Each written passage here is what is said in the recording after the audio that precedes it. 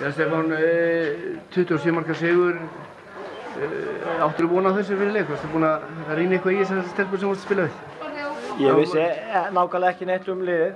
Ég vissi að he- liðið heitir Megas Já, og hérna það er svona Megas nafni, það er gott, þú lögum svo Fallafól og spáði mig. já, Nei, ég bjóst við sterku liði, mhm, en hérna við vorum mun sterkari inn í dag. Eh, Eitthvað sem kom þér á óvart, nema bara kannski hvað þið voru slækar eða?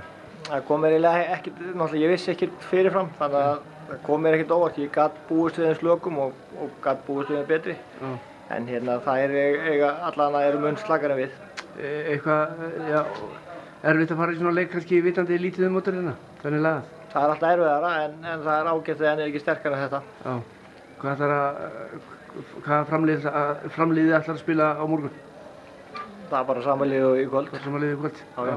Við, við, við erum virðing fyrir öllum mótörum þáttur við vinnum á, vinnum stórt núna en við ætlum bara að reyna að gera betur á morgun. Já, það var svona kannski, já, lítið sem skemmt okkur blagamönnum við leik þessari fylskalist nema það bara þjálfara þeirra. Eh, Hann var mjög skemmtilegur. Það og hérna, heitur þessar. já, og hérna, hann hefði alveg getað hengið raukt, sko, en hann var En því miður þá skildi ég ekki hvað hann sagði, þannig að ég er engu nær. nei, hann er ekki þig. Nei, nei, ég, ég var rólegur yfir hann. Já, takk fyrir það.